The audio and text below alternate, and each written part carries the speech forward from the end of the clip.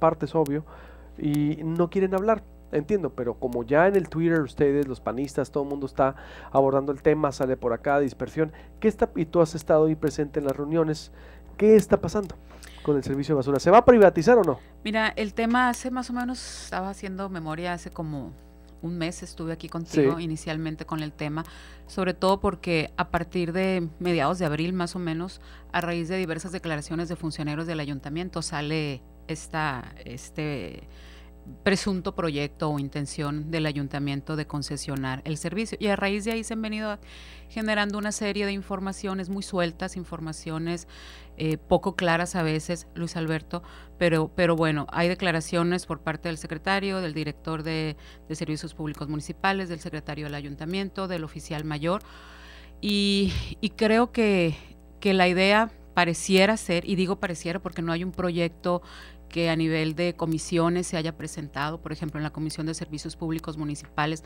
no hay un proyecto, no hay un estudio de factibilidad que tenga el oficial mayor. El oficial mayor ha estado presente, sin embargo, no hay números, no hay datos, no hay certeza, ¿no? La información que tenemos es, es muy vaga, pero pareciera que la intención es como cerrar el ciclo de concesión-privatización. Ya está la parte del relleno sanitario concesionado a particulares, pues pareciera como que la intención es esta, ¿no? De la información que, que, yo te podría comentar y que nosotros hemos estado dando también seguimiento es porque las primeras declaraciones de los funcionarios que te mencioné ahorita eran en el sentido que el servicio era muy caro y que el servicio era muy caro y que la única este, posibilidad de rescatarlo era eh, la concesión y que el servicio era muy caro precisamente porque había un, un, pago muy oneroso, muy fuerte de horas extras, ¿no? Y bueno, parece ser como que las horas extras son, son, son la parte que hay que resolver, ¿no? Eh, eh, junto con ello ha estado presente tanto el director de servicios públicos municipales como el oficial mayor y un poco tratando de dar respuesta a esto yo hace más de una semana le preguntaba al oficial mayor, bueno, denos números, denos datos, información, un histórico, el comportamiento de horas extras. No, la información que tenemos nos llegó vía el sindicato.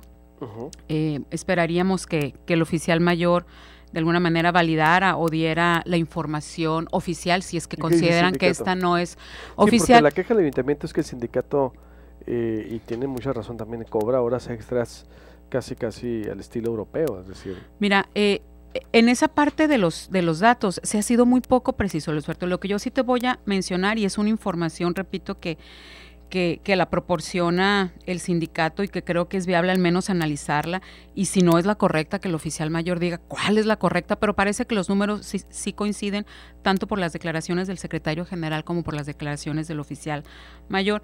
De entrada, en una información de los tres últimos meses, eh, se habla de de alrededor de más de nueve, casi 10 millones de pesos pagadas en horas extras. Los motivos que señala eh, eh, en esta información, las causas por las que se generan las horas extras tiene que ver con ausentismo, con incapacidad, con falta de personal que cubre turno, enfermos en ruta, averías mecánicas y apoyos. Pero lo interesante de esto es que el grueso de las, del pago de horas extras, de turnos extras, que es casi el 60% de acuerdo a esta información, se concentra en el rubro eh, que tiene que ver con eh, averías mecánicas o sea, con fallas en, en las, en las, en las unidades. Estamos hablando casi del 60%. A partir de esta información y con esta y, y, con la concentración del pago de turnos extras en, en las fallas mecánicas, en las unidades, es que el sindicato el jueves de la semana pasada, en la, en, en la reunión de, de, la Comisión de Servicios Públicos Municipales, nos entera a los regidores de que el sindicato eh, propone al ayuntamiento, propone a la, a la autoridad que, que, que, este pago, que representa casi el 60% eh, de, de, turnos, que ellos, la propuesta es la suspensión del pago del tiempo extra por, por concepto de falta de unidades. Y estaríamos hablando alrededor de entre 1.7 y 1.9 millones de pesos mensuales, que ellos dicen, suspéndanlo, suspéndanlo y con ese recurso arreglen unidades o compren unidades. Creo que es una propuesta viable, creo que es una propuesta factible.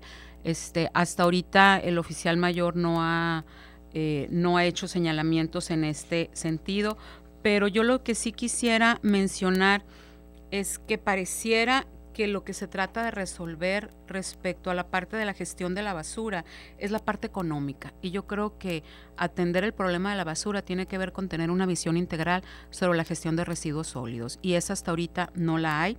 Nosotros consideramos que la gestión de los residuos sólidos no puede darse sin la participación ciudadana en la toma de decisiones y sobre todo... ¿Ustedes creen que no se debe privatizar? No. yo creo que hay medidas viables, yo creo que antes de pensar en un proyecto de, de, concesión, en este caso, tendríamos que estar buscando medidas alternas, el sindicato está poniendo su parte, vamos analizando, vamos analizando muchas cosas, porque hay un dato, hay un dato importante, Luis Alberto, en, en, en, este, en este asunto de las horas extras, eh, el secretario del sindicato menciona que el pago de horas extras se da también porque viene gente de otras eh, dependencias con niveles muy altos, 6 y 7, a hacer horas extras en la recolección de basura. Entonces. A ver, ahí hay un desorden. hay, un desorden, exactamente. No, me gusta todo lo que, lo que se está planteando. Digo, en el sentido, está muy bien planteado, pero eh, hay, dispersión de la información y, eh, insisto, es necesario que el ayuntamiento y el sindicato ya, den su postura. Los teníamos contemplados. Entiendo que los dos han de estar en negociaciones, pero quería tocar el tema contigo porque eh, ya lo teníamos pactado. Es necesario que los ponga a debate porque todo eso que estás diciendo es muy delicado. Gracias, Roselena, te agradezco muchas mucho. Gracias, muchas gracias, Luis Alberto. muy buen día.